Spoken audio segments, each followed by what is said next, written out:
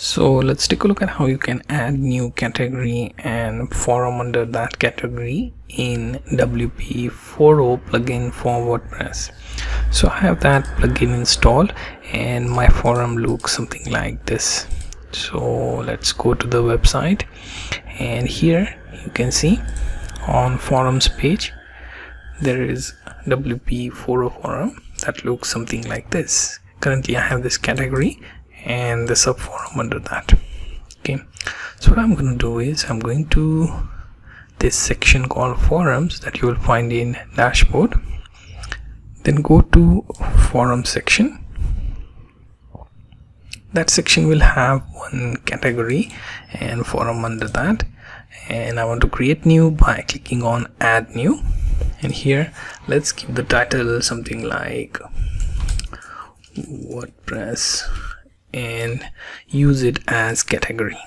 Okay I can choose options such as let's say extended threaded QA or simply simplified. Okay so this is the simplified version. Okay currently the default set is extended and it doesn't allow us to choose the others. Okay so let's just go with extended current layout okay.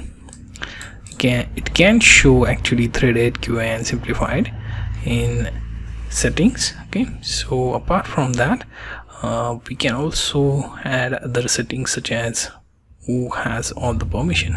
Okay keep the default ones don't change them and publish this. Okay currently I don't have any text for this. So now I have this section WordPress. I can add a forum under that.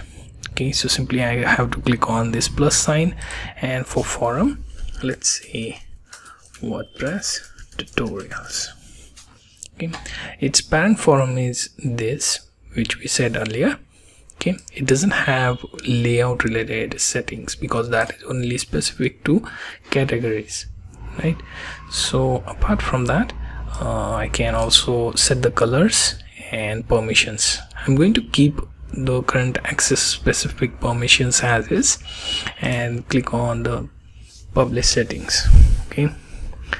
Now that you have these categories set up save the order and hierarchy. And once saved what you can do is simply refresh your forums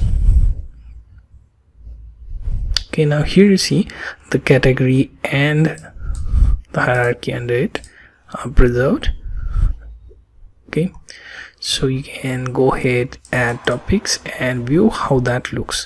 You may have to edit some of the settings for this so as to make it full width and have to also check with the layout how your content appears within particular post etc as you can see for the category specific layouts there is that option available when you edit those settings. Okay so that's pretty much it for uh, forums and settings